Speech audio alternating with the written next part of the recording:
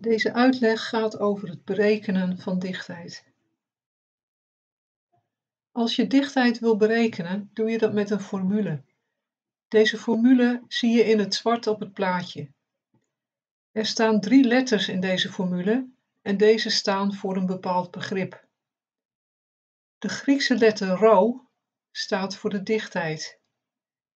De m staat voor massa, dus hoe zwaar iets is, en de v staat voor volume. Volume betekent hoeveel ruimte iets inneemt. Bij vloeistoffen noem je dit inhoud.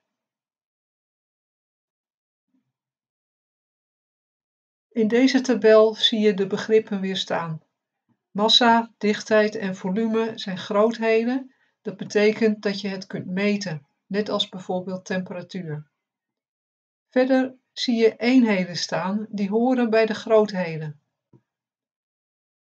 Een eenheid is een maat van de grootheid, bijvoorbeeld gram of kilogram.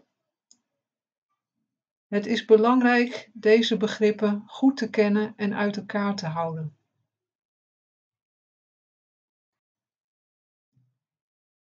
Als je met de formule gaat rekenen, kun je dat handig doen met een zogeheten formuledriehoek. Je ziet dezelfde grootheden uit de formule in de driehoek staan. Als je je vinger op een van de grootheden legt, zie je wat je met de andere twee moet doen. In de volgende plaatjes wordt uitgelegd hoe je dat moet doen. Voorbeeldsom 1.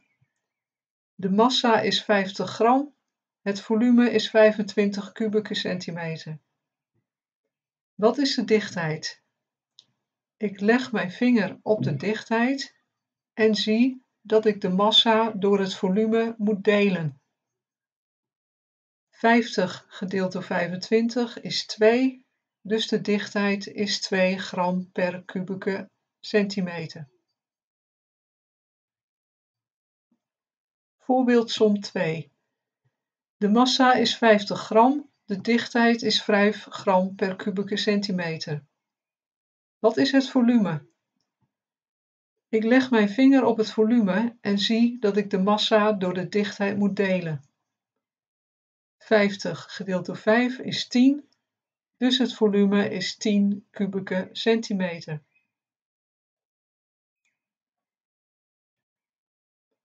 Voorbeeldsom 3.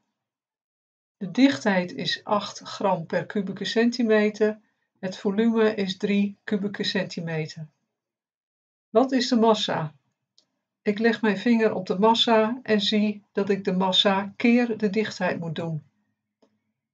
8 keer 3 is 24, de massa is 24 gram. Bij dichtheid heb je te maken met drie grootheden, dichtheid, massa en volume. Bij deze grootheden horen eenheden. De formule driehoek is een handig hulpmiddel om berekeningen te kunnen maken.